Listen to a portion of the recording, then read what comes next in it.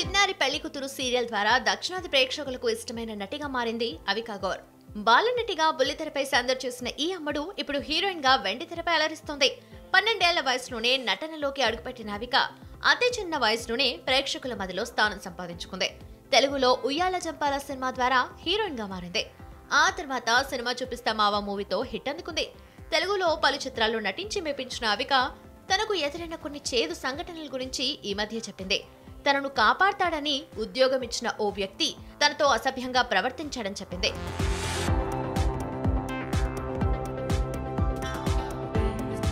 పెద్దయ్యాక ఎన్నో హింసలు సవాళ్ళు ఎదుర్కొన్నారని అవిక చెప్పుకొచ్చింది.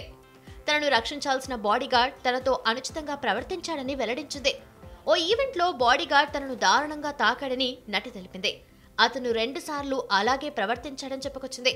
అంతేకాదు అతడు తనతో అసభ్యంగా ప్రవర్తించగానే అతని వైపు చూసి ఏంటి అని అడగ వెంటనే తనకు సారీ చెప్పాడని దీంతో ఆ సంఘటనను వదిలేశానని చెప్పింది.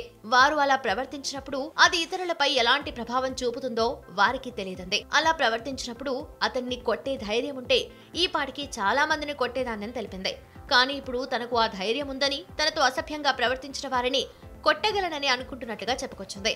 తనలాంటి పరిస్థితి ఎవరికీ రాకూడదని కోరుకుంటున్నట్లు తెలిపింది.